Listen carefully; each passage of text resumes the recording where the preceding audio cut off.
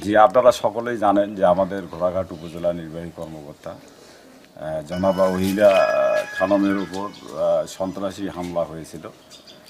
সেই হামলার video footage দেখে প্রশাসনিক কর্মকর্তারা ব্যাপক আপনার তদন্ত সাপেক্ষে আমি আজকের খবরে ভোরবেলার খবরে যেটি জানতে পারলাম যে দুইজনকে সন্দেহজনকভাবে গ্রেপ্তার করা হয়েছে।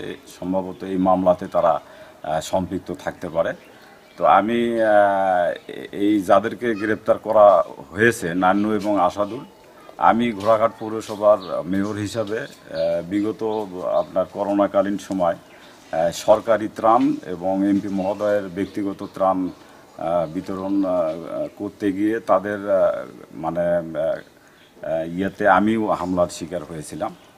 তো আজকে এই উপজেলা নির্বাহী কর্মকর্তার উপর যে হামলা এই হামলার আমি দৃষ্টান্তমূলক শাস্তি দাবি করছি।